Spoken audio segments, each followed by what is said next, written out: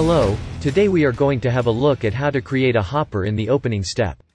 In the opening step, you can find the hopper tool. By clicking on it, the possibility to make a hopper on both the floor and the ceiling will appear. While on the ground floor you use the ceiling hopper. This will create a hole on the first floor for your staircase.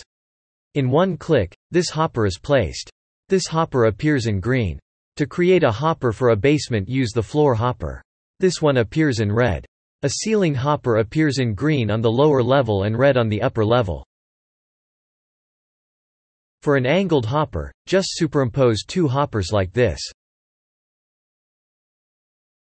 The dimensions are fully customizable in the Options panel. The area for the hoppers is automatically removed from the surface area of the room.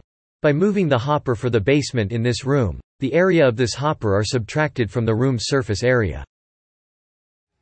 That's it. Now, it's your turn. You can contact us if you have any question. The support team is always there to answer you.